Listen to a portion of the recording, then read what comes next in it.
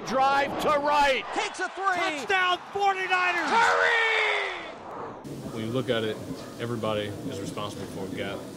But when you get blocked, you got to get off the block. And I think we just got to do a better job of getting off the blocks, um, securing tackles, and just not letting big plays happen. Because um, we look at the film and we break down each game.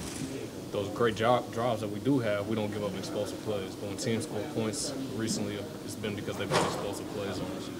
Just got to um, get rid of those explosives. I don't think there's a person on this team that is, is packing it up. We just got to eliminate the mistakes that we've been having because we, we've been doing the same thing too consistently with the turnovers on special teams, um, with missing tackles, allowing big runs to happen on defense. So we just got to get, eliminate those mistakes and put ourselves in a better position to win games. It's tough. We're one in whatever, but we just got to keep our head down and keep working. Um, take it one week at a time and see where we're at at the end of the season.